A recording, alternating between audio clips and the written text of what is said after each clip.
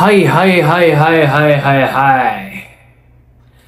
ローテ再編して、メンデスが投げるらしいけど、マジでメンデスラストチャンスだと思うし、本当に自分も、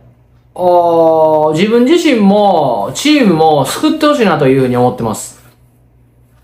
てな感じで始まりました。小山翔平ベースボールチャンネルです。今日も最後まで見ててください。見ててください。よろしくお願いします。はい、今日はですね、えジャイアンツがローテを再編したというところで、ちょっとそれについてお話していきたいなというふうに思ってます。まあ今冒頭でも言いましたように、えちょっとメンデスがね、えー5ヶ月ぶりですか ?5 ヶ月ぶりかなうん、なんかあの、一軍でね、まあ投げるという形に、えなったみたいなんで、まあそれを含めて、ちょっと今日お話ししていきたいなと思います。はい。で、メンデスが、あの、まあ、8月29日、えー、まあ、ヤクルト戦なんですけど、ヤクルト戦にその投げるっていうね、ところがあるんですよ。で、えっ、と、まあ、大体、えー、木曜日って、えー、まあ、戸郷が投げてたんですけど、おまあ、その戸郷を、まあ、金曜日にね、移して、ちょっとローテを再編したっていうところがあるんで、まあ、それについてね、ちょっと今日言及していきたいんですよ。で、まあ、その言及する前に、まず、メンデスなんですけど、まあね、えっ、と、まあ、2軍で非常に投げてて、で、この間かな、一番最近の登板で、まあ、5回2安打無失点っていうのがありまして、まあ、まあ、満を持してじゃないけども、まあ、帰ってきたと。まあ、年俸もね、今年1億ぐらいもらってるんで、まあ、仕事してくれないと、まあ、困りますよというところで、まあ、あの頑張ってもらいたいなと思ってるんですが、まあ、やはりこのね、正直メンデスがね、まあ、6番手というか、まあ、やっぱりこう、開幕からハマってくれなかったんで、えー、まあ、西舘であったりとか、うん、他のピッチャー、えー、バタキもそうですし、えー、って言ってね、いろいろこう、赤星もそうですし、こう使ってきたじゃないですか。で、なかなかハマらなかったっていうのがあるんで、まあメンデスがもうここでハマってくれたら非常に面白いなっていうところあると思うんですね。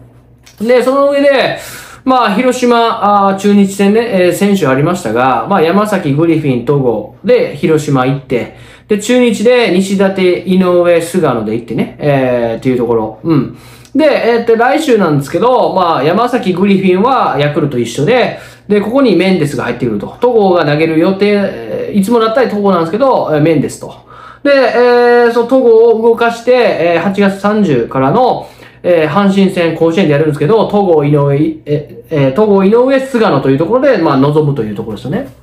で、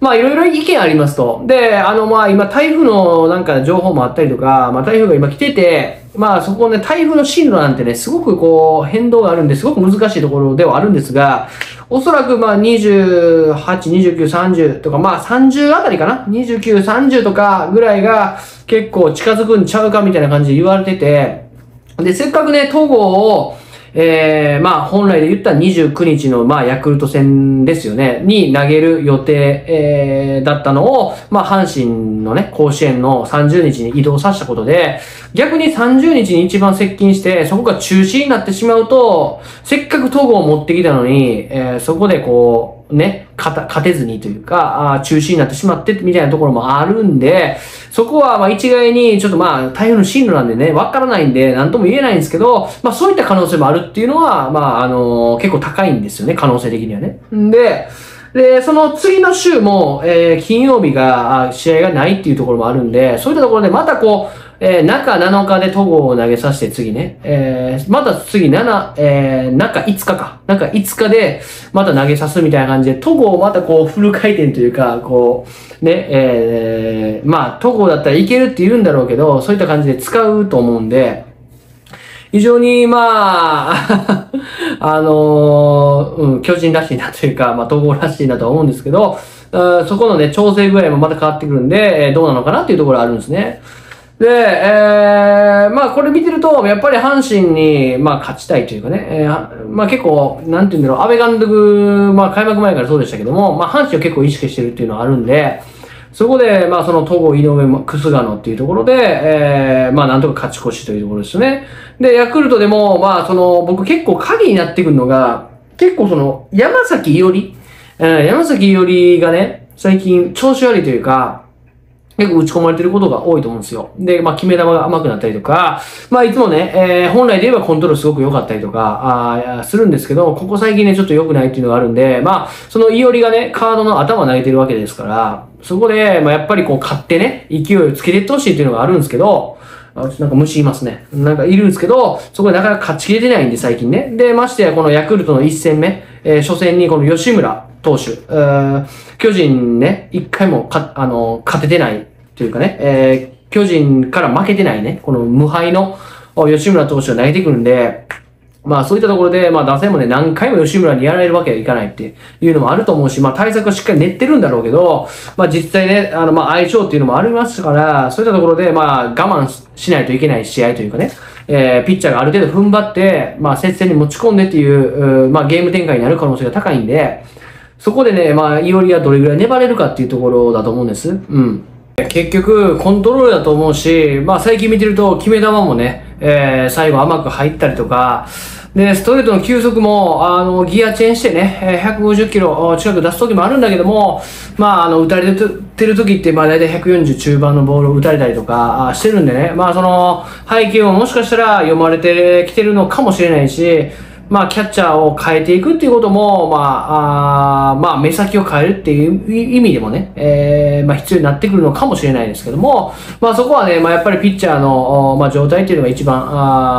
あ重要だと思いますんで、そこはね、まあ、本人も分かってると思うんで、頑張ってもらいたいなというふうに思ってますと。で、まあ、打線に関しても、まあ、最近ちょっと丸さんが、あ落ち気味というかね、えー、っていうところもあって、まあそこもね、えー、まあずっとずっと調子があいいわけではないですから、そこをみんなでカバーしていく。まあモンテスと、まあ今浅野選手はね、すごくノリに乗ってるっていうのがあるんで、そこに便乗してね、まあ坂本選手であったりとか、まあ先日のね、ホームランもありましたし、まあ岡本選手が、あ何回、何回も言ってますけども、岡本選手が上がってくれたら、えー、まあすごく、あのね、去年みたいに、あの、フィーバータイムというかね、あの、めちゃくちゃ打つタイムが、えー、あとまあもう30試合弱ぐらいですか？うん、なんで、えー、そこで入ってくれればめちゃくちゃいいんですけども、まあそれもね、いつ、あの、どうなるかわからないというところで、まあちょっとね、えー、まあ広島とのゲーム差1か、今1ですけども、もう1、って言ってるけども、あの、すごく難しい試合が続くと思うんで、まあ、この戸郷投手を、まあ、木曜日から金曜日に移したことで、えどうなるか。うん。で、えー、まあ、台風の状態でね、えー、もしこの30日の甲子園が中止になったとしたら、すごくこう、巨人にとって、えー、痛いというかね、うん。あれになるんでね。まあ、その、台風の進路はなかなか予測できないんで、あれなんですけど、まあそういったところはあるんちゃうかなというふうに思っております。はい、てな感じで今日はまあローテ再編っていうところについて見ていきましたけども、まああのまあメンデスですよね、もう本当はええ加減に仕事してくれよっていうところはあるんで、まあここにね、えー、この一番苦しい時に、まあ、こう、チームを救ってくれるんだとしたら、すごく、えー、まあ、本人にとってもね、えー、いいことですし、まあ、チームにとってもすごくいいことなんで、そこはね、期待したいなと思いますし、あのー、まあ、ヤクルトもね、非常にこう、打線がね、えー、良かったりとかしますし、まあ、いつもね、長岡選手とか、あそうですよね、あの辺、まあ、サンタナ、オスナ、あの辺にね、えー、打たれたりとかしてることがすごくこう、印象に残ってるんで、僕の中でも。うん。そこもね、えー、対策してほしいなとは、あしっかり抑えてほしいなと思いますし、まあこの阪神ですよね。阪神、まあ甲子園でやるっていうところで、完全なアウェイの中でね、まあ、戸郷投手もまあ、ノーヒットノーランしてるとはいえね、うん、まあ、その阪神もね、やられっぱなしでは終わらないし、もしかしたら台風来るかもしれないし、うん、うん。っていうところで、えー、まあ、非常に難しい試合が続いてますけども、まあ、歴史的、えー、というかね、えー、今までないぐらい、えー、混戦してると思いますんで、すごくね、野球ファンは最後の最後まで楽しめてるのかなというふうに思いますんで、ぜひね、この、激戦のね、セリーグをね、えー、制して、優勝してほしいなと。久しぶりの優勝をね、えー、見たいなというふうに思っております。はい、そんな感じでね、今日は終わってきます。いつもありがとうございます。これからもどうぞよろしくお願いします。そんな感じで今日は終わってきます。じゃあね、バイバイ。